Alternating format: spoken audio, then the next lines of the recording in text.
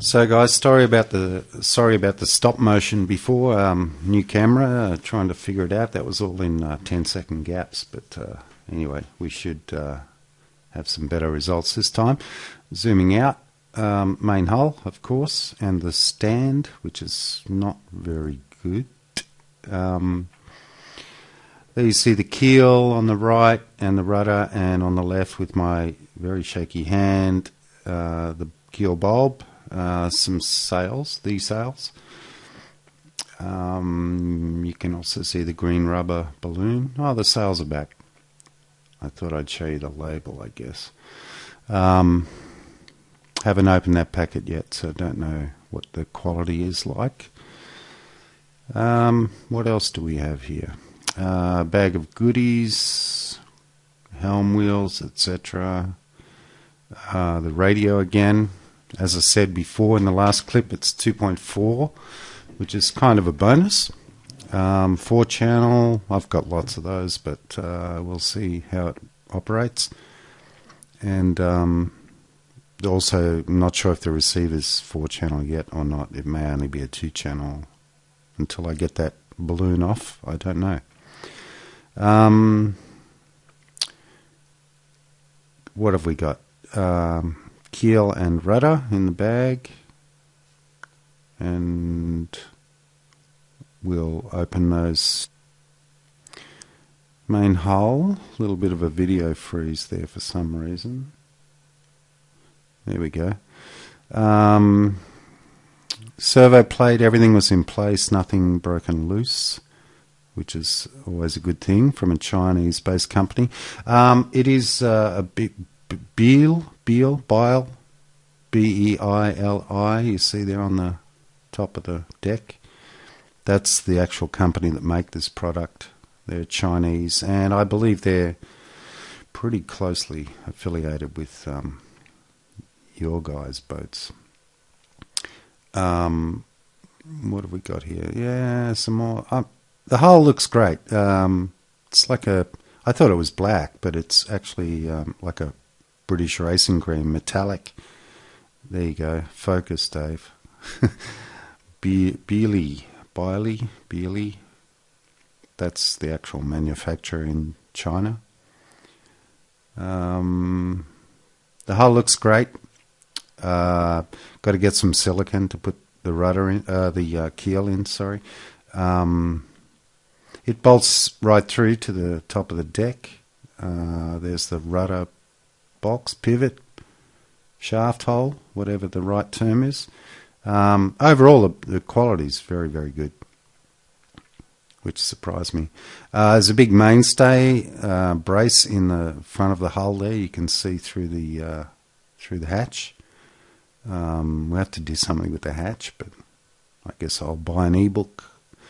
Um, rudder shaft there is all in place. Uh, what else have we got? Um, mainsail winch.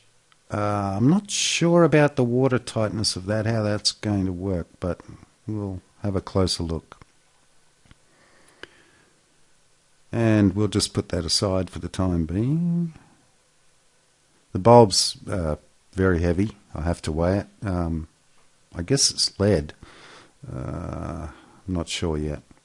Uh, it attaches to the keel with a screw uh, or a bolt, I should say. Um, I guess I'll have to epoxy that on maybe. You guys can tell me if that's a good idea or not.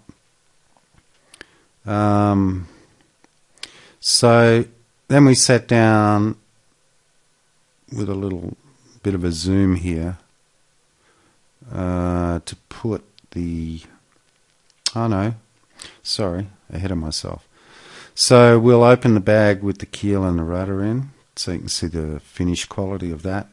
Uh, excuse my shaky hands. It's uh, it's Christmas Day. Remember. Um, just cut the wrap. Everything's really well packed, um, wrapped to, to, protect it, etc. Um, so we're just going to try and open that gently, but we should have just ripped it apart. Um, –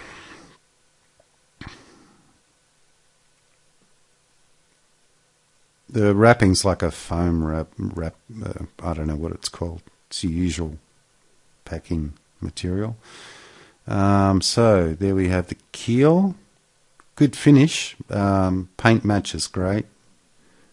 Uh, you see the bolt on the left there. That goes through to the deck. Um, looks pretty solid actually. Nice shape.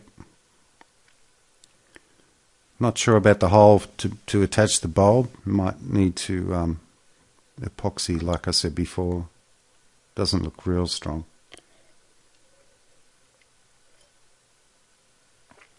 Put that aside and uh, pull out the rudder. Again, the finish is great. Um, I'm pretty impressed with the quality of the paint, etc. And there we have it with the shaft that goes through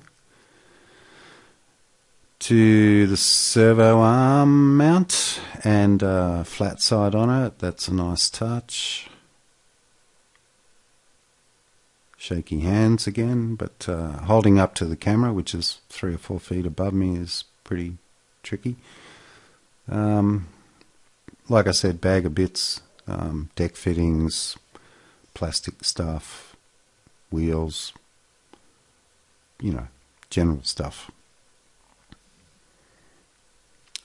And then the lousy stand.